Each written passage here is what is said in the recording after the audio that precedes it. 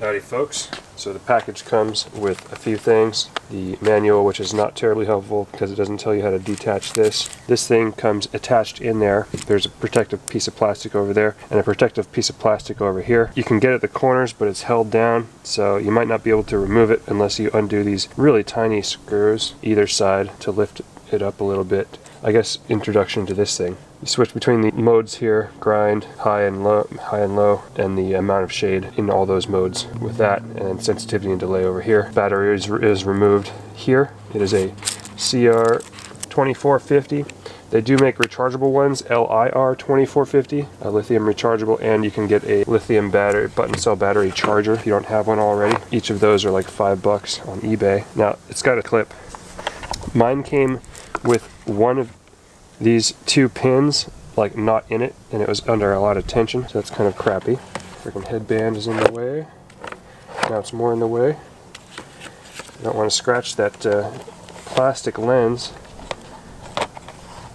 Unfortunately it is not like safety glass.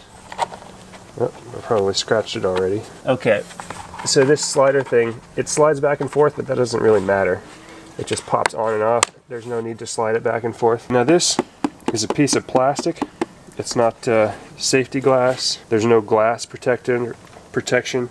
I'd rather have glass over plastic or uh, graphene coated glass over plastic because eventually if you wipe them off they get dust and condensation. I mean you don't really want to have like lens cleaners and, but I guess that's what you'll have to do to uh, keep them to keep it, this from getting damaged. Hopefully there's extra ones in here which are stored in this bag that they give you.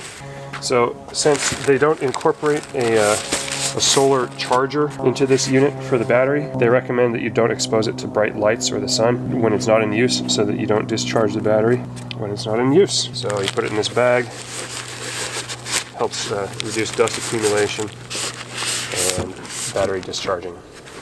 The bag itself is not terribly soft. It's definitely more scratchy than a motorcycle helmet bag. This is grind mode, which I've never used and probably will never use.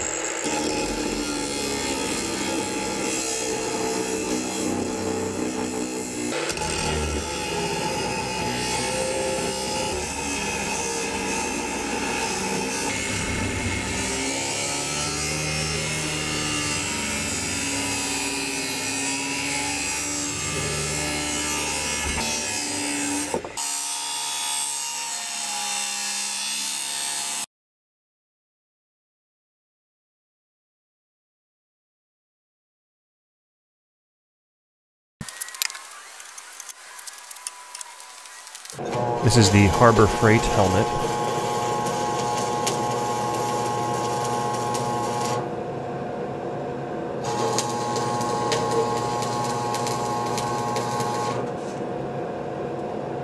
This is the new helmet, but autofocus on the camera is on, so it's problematic.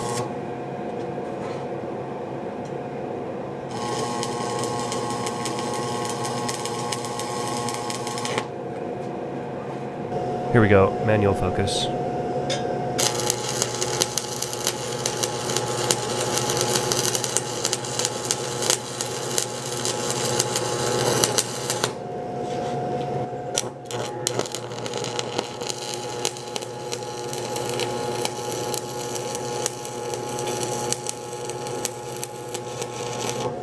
I'm pretty convinced that cameras and welding helmets just don't match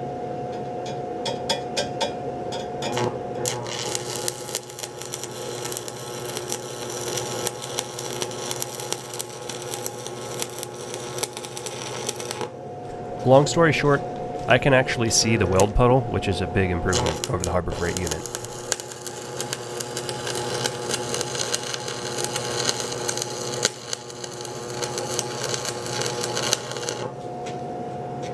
I've got maybe 20 or 30 hours underneath the helmet, and I find that the headband gets in the way of my earplugs. My earplugs like to fall out of my ears, um, and that's a pain in the butt. And then I don't like the condensation I've experienced at nighttime with the unit. It's but it's not as bad as some sets of like safety glasses, but it's still kind of annoying. And I don't like how small the bag is. I wish the bag had two grommets on it so I could put one of the grommets through a hook and uh, hook that to my welding cart. And then there's a clip on the headband that just loves to pop off. I don't know what's up with that. It's on the top band of the headband, so it's not really a, a deal breaker, but when you notice it, it's like, what the fuck? And it kind of gets in the way, and it might end up scratching the backside of the lens. So that's pretty bad.